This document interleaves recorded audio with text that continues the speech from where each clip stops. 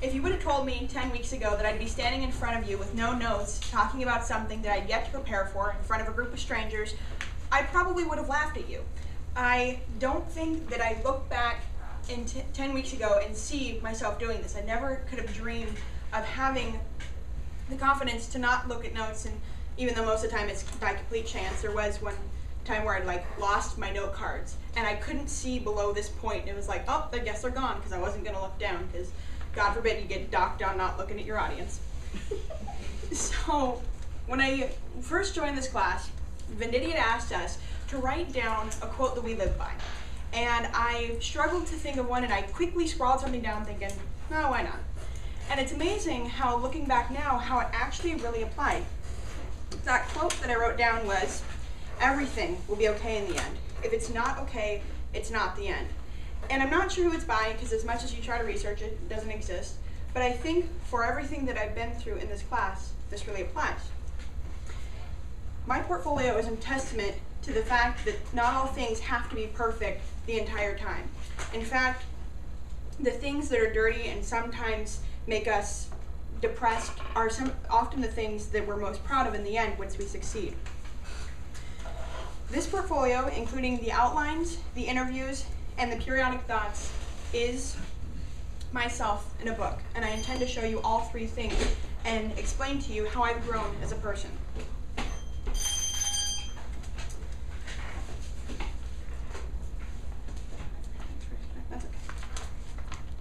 So the first uh, speech that I want to share with you is a speech that I did about an abortion survivor named Gianna, and I'm sure you guys all remember it because I nearly teared up in front of all of you, so that was really funny.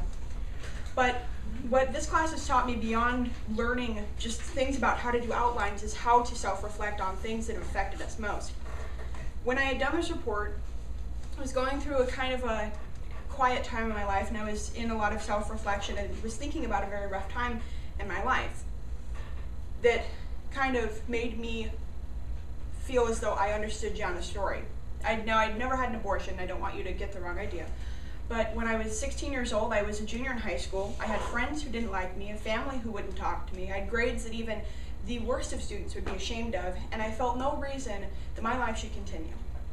I was on 167 going north towards Puyallup, uh, going around a bend that overlooks Bonney Lake and downtown Sumner. I decided at that moment that it was done. My life was not going to get any better, and I pulled, pulled the wheel right and said, What will be, will be. And just that moment, because it was pouring down rain that night, I remember very specifically my wipers were going incredibly fast. My car hydroplaned into a puddle, and I veered left into the other lane. No traffic was there, so nobody was hurt. I ended up pulling over and just crying profusely, thinking, How bad is my life that ending it is the only option. And so in the reason I bring it up is that in researching Gianna's situation, I so much of it was realizing that certain things are given to us, much like the speech class, not to be taken over, but to overcome them, and to realize that we are a lot stronger than we give ourselves credit for, no matter how much we think otherwise. The other speech that I had done that I thought was very close to my heart was when I went to see my brother's AA seminar, where he spoke for a couple of hours about what it meant to be an alcoholic, family member of an alcoholic, and it touched me really deeply because there's things that I recognized in myself that I never even processed before. This class has done worlds for me when it comes to understanding who I am and what it means to be human, and that sometimes the things that make us who we are are the things we should be proud of, not the things I should hide it, it's funny that I mention any of these things because I haven't talked to anybody about them aside from very close friends for many years, and for many reasons I'm ashamed of that because I haven't given myself a chance to heal. Other than that, there's interviews. On a more happy note, I got to meet a lot of people that I didn't that I didn't know, and I have to say I hated every part of it. I don't like talking to new people. I think talking to new people is really hard, and especially when you have to ask them questions. And if you ever want just to see the look on a woman's face in total shock, go up to her and be like, What's your opinion on abortion? I'm just trying to get grapes to the grocery store. Why are you asking me? Like, they get really uncomfortable. And so I kind of challenged that and I decided to ask people point blank, what's your opinion on drunk driving? What's your opinion on this? And it, the look on their face was enough just to kind of make me giggle and get my information at the same time. I also learned that things in life are hard for a reason, that talking to people sometimes can be rewarding, but that through coming through the fact that I hate talking to people, it made me more sure of myself, more confident in the way that I carry myself to the point where I really couldn't care less if I have to ask some old lady if her her, her opinions are different than mine because I'm more comfortable with that. The third thing that I want to share with you in my portfolio are my periodic thoughts. Now, until last night, I didn't quite realize that our periodic thoughts had to be about speech class, and so I revamped mine to hmm. make them fit that. Now, my thumb tab would just come up here. So I didn't write little notes like everyone else. I wrote little paragraphs. And the second week we were in this class, I wrote a very honest reflection of how I felt about this class. Excuse my language. That's not. It's not horrible. I am so damn overwhelmed. My mind is racing with homework and GPA and tests. I never seem to have a dull moment or get any time to think other than on Sundays when I watch the news. Who have I become? I take some time to relax, but in the afternoon, I'm right back at it, homework. God, this is awful.